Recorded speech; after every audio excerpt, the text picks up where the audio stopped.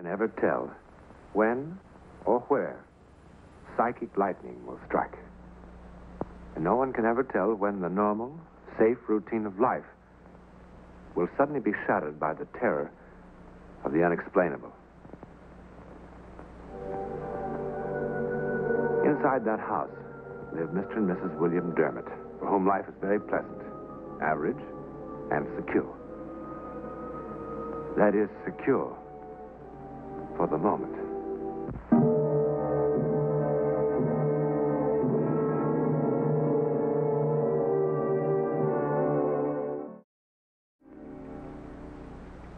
It's perfect. Just perfect. It was a wonderful birthday present, darling. wonderful. I'm so glad you like it, darling. I hope it keeps good time. It'd be terrible if it was just pretty. Fine, I checked it 20 times already, right on the button. Okay. they sure don't make them like this anymore. Funny how you can want a thing your whole life. It's like a miracle with my initials and everything. Where on earth did you find it? Huh? Come on, tell me. Won't tell. Went a lot of places, though. And when I saw that one. It didn't really have your initials on it, Bill. The last letter was an O, and they made it into a D for me with a line. You don't mind that the middle letter isn't the same as yours, do you? As of today, I've got a new middle name now. Uh, how about, uh, let's see, um, William Victor Dermott. How's that sound, huh?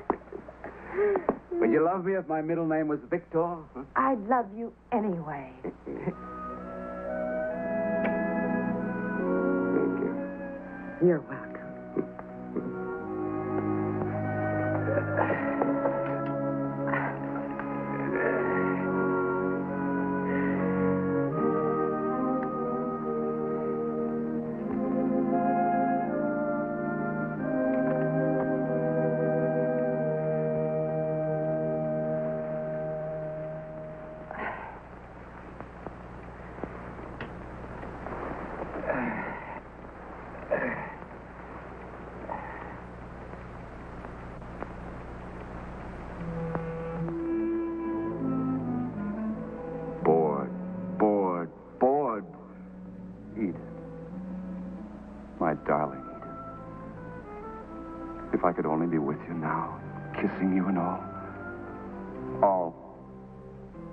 No sitting with her three more hours till her bedtime.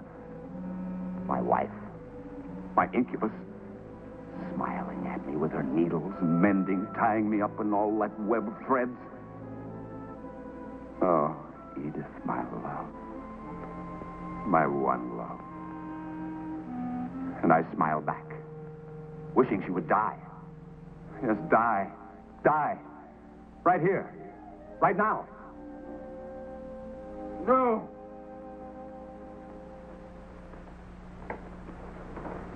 Darling, what was it?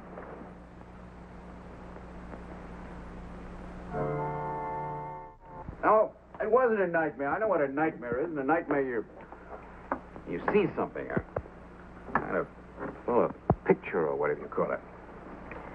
Maybe there isn't always. Sure, as always. You ever have a dream where there wasn't any?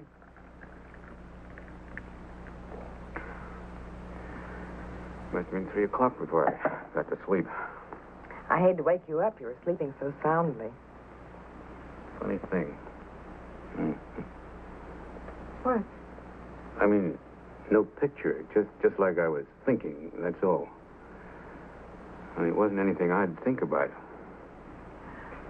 Bill, maybe you ought to have a checkup. Why don't you call Dr. Otis and get an appointment? I'm all right. I, probably something I ate.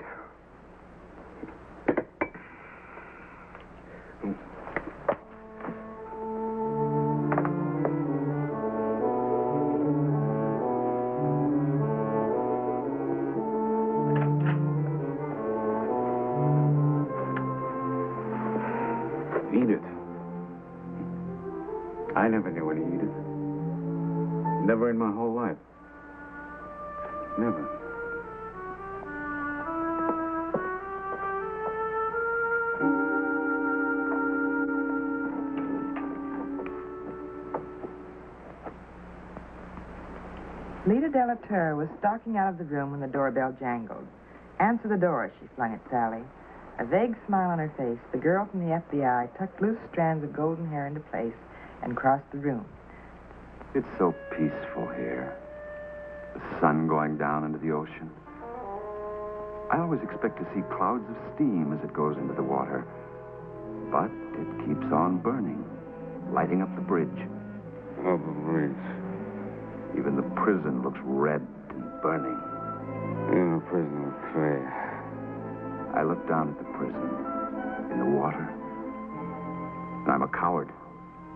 If I killed her, I'd be caught. How can I get free of her? Free. Free. Free! The insurance agent's lips had curled a little. Slow anger had burned in his eyes as he.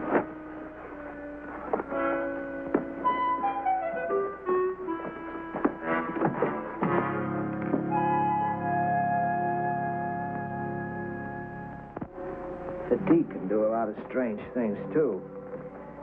They made a lot of studies during the war. Hallucinations, everything.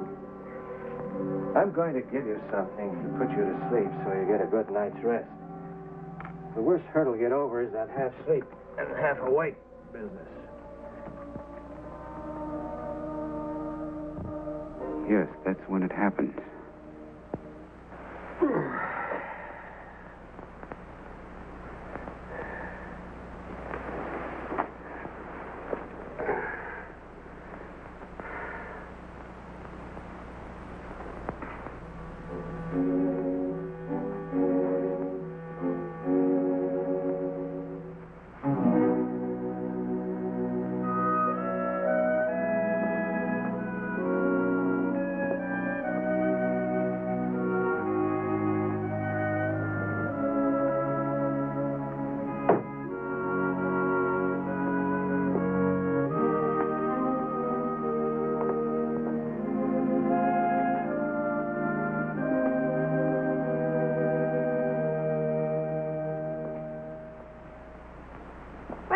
I was just about to come wake you. Sleep all right? Fine, I slept fine. Good. I'll get you breakfast. Now, wait a minute. Mary, where's my watch? On the table, next to your hmm. chair. You left it there last night.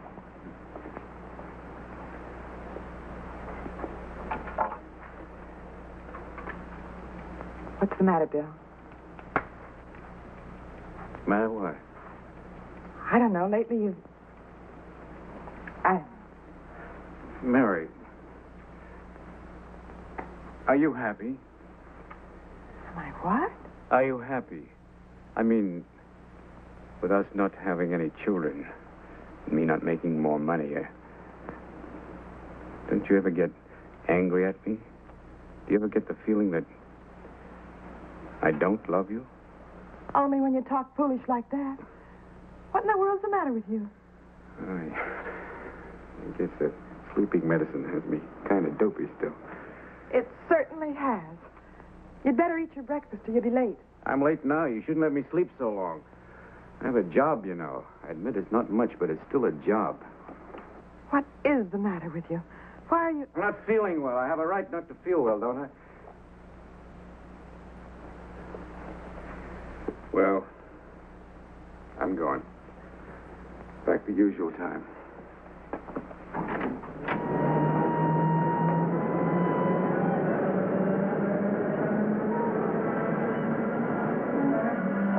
Dawn now. Sun hot and dry. What a terrible night without sleep again. There. She's stirring now. Awake, demanding. I can't stand it much longer. No, not much longer. Pretending the perfect husband. And hating. Many years turned into nothing but hate. Stop. Stop.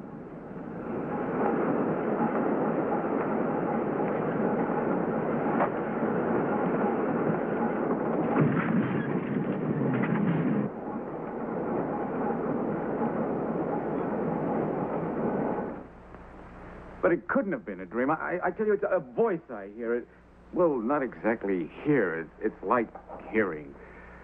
Bill, darling, I'm going to call your boss. You need a couple days' rest. It's like, it's like having somebody else think inside your head. Does, does that sound crazy?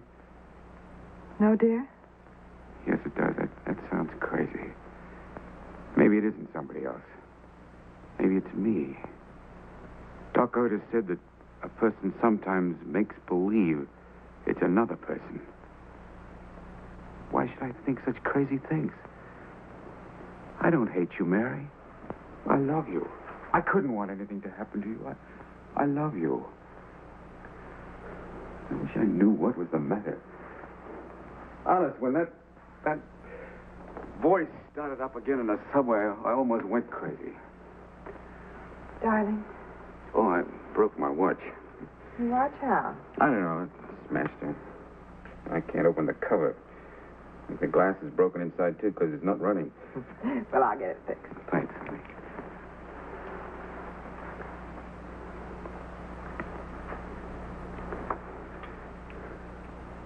You're going to stay home for a couple days. I'll call your office and tell them you're sick.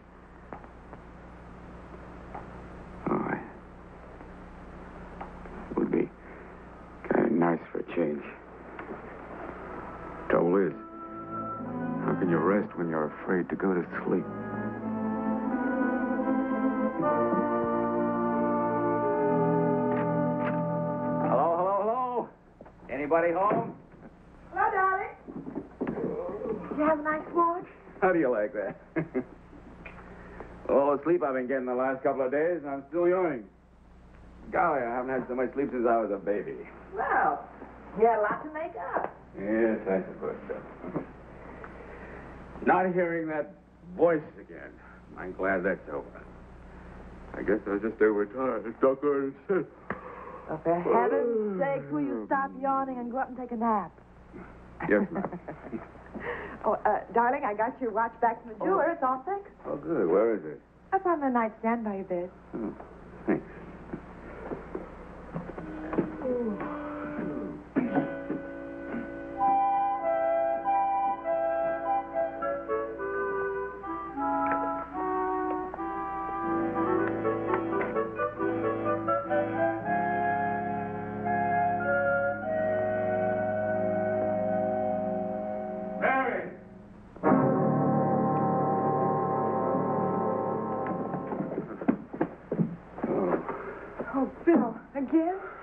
Again?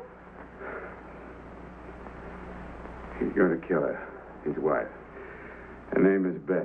It's an insurance policy. What am I going to do? He's going to kill her and make it look like an accident. Am I crazy, Mary? Tell me, am I going crazy? No, no, of course not. I thought it was all over.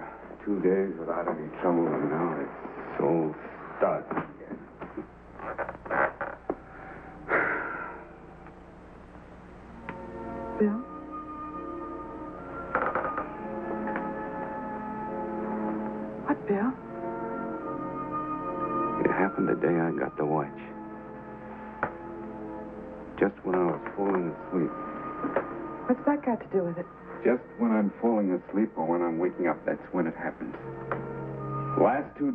out of the house.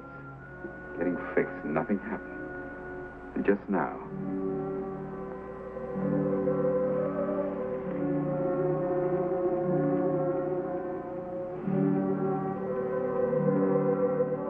Gonna kill her today. He's going to kill her today.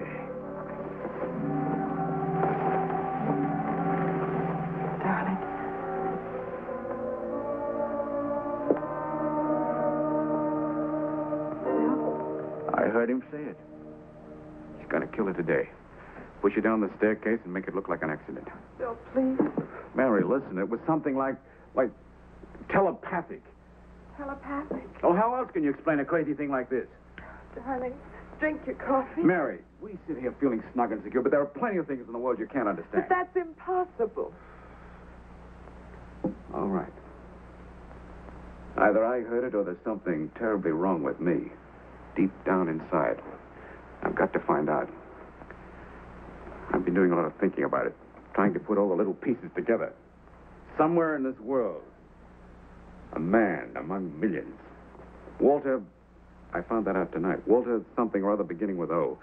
That's the letter you changed. His wife's name is Beth. And there's another woman called Edith. Bill, please go back to bed and let me call Dr. Otis. When I was on the subway, he was talking about dawn. And when I was in bed, he was settling down after dinner. That's about three hours difference each time. Sure, that's right. And another time, he was watching a sunset while I was asleep. He was watching the sun go down into the ocean. I don't like to see you like this, Bill, please. Three hours, three hours. That's, that's three hours early. That, that's Pacific time. Sure, the Pacific coast. That's it. Where else can you see the sun go down into the ocean? That, that's it. That's it. Now, where? Thousands of miles. Thousands of miles. Could be any place up there.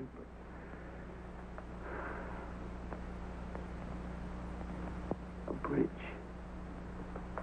He was looking down on an island with a prison on it. A bridge in a prison? Yes, yes. He was on the bridge. He was looking down at the prison on the. Uh, Alcatraz? That's it. That's exactly it. San Francisco. Mary. I can't let him kill her. I, I must find him.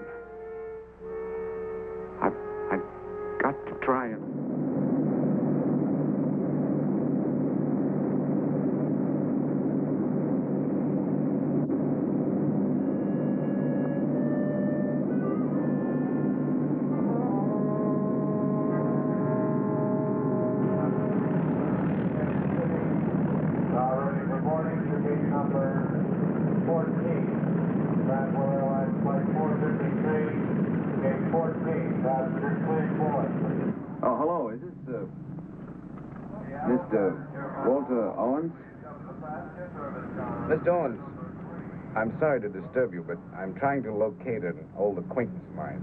Would you by any chance be Walter V. Owens, wife's name Beth? Oh, you're not married. I see. Okay. No, thank you. Still not the I'll right one. Well, that's the last WVO in the San Francisco directory. He must be here. I'm sorry, sir. Here are his initials. Uh, You see, this D was an O. W V O. But, sir, that's a small V. What's that got to do with it? Well, that means that it isn't a middle name at all.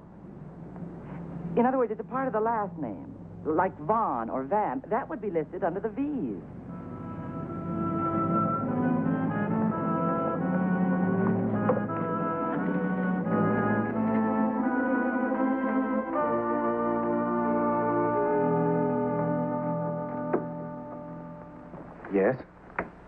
You Walter Van Ostrand? No, I'm Paul Lennox, Mrs. Van Ostrand's brother. Oh, uh, come in. Will you excuse me?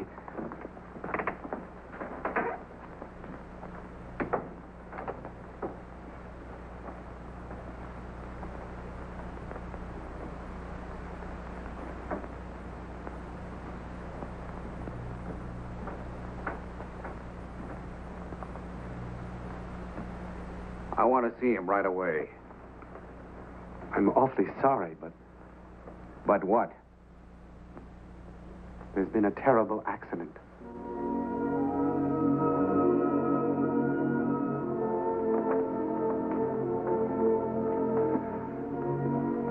My sister is an invalid, you know. She's been in a wheelchair for some time. Yes, I know. Walter was bringing her down the stairs. The chair got away from him. He uh, tripped or fell trying to stop it. He deflected it enough so it had jammed into the posts of the stairway. Beth was unharmed. But Walter lost his balance and fell. He's dead.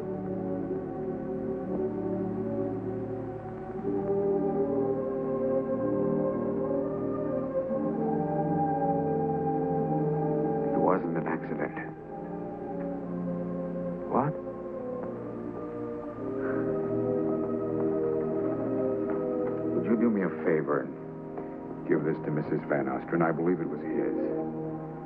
Uh, yes, it was. Would you also give her a message from me?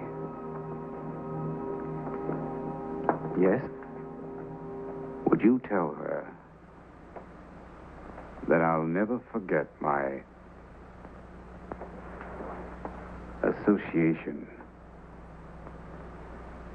with Walter Van Ostrand?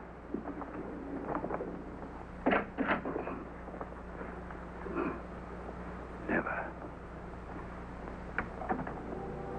You can be sure he'll never forget. A rare experience, indeed. An object so vibrant with the personality of its owner that the mere touch or proximity of another can establish a communion of mind, a telepathic contact that cannot be broken. Such a phenomenon is called psychometry. And how it works is quite inexplicable. But then, so many things in the life of man are inexplicable, aren't they? In a moment, something about next week.